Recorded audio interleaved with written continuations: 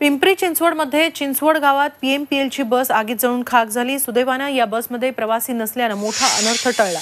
Short सर्किटमुळे आग लागल्याचा प्राथमिक अंदाज वर्तवण्यात येतोय. ही घटना आज दुपारी पावणे दोनच्या सुमारास चिंचवड गाव इथं घडली. चिंच चिंचवड गावात पीएमपीएलचं बसस्थानक आहे. एम एच बारा एच बी चारशे एक या क्रमांकाची पी एम पी एलची बस चिंचवड स्थानकात आली होती. स्थानकाबाहेर ती बस उभी होती. त्यावेळी पावणे दोनच्या सुमाराला या बसला अचानक आग लागली. ही आग एवढी मोठी होती की धुराचे लोटच्या लोट बाहेर येत होते. त्यामुळे परिसरात काही काळ घबराटीचं वातावरण निर्माण झालं होतं. अग्निशमन दलातील बंब घटनास्थळी दाखल झाले. त्यांनी अर्ध्या तासाच्या अथक प्रयत्नानंतर आग आटोक्यात आणली. यामध्ये P M P L bus जळून खाक झाली.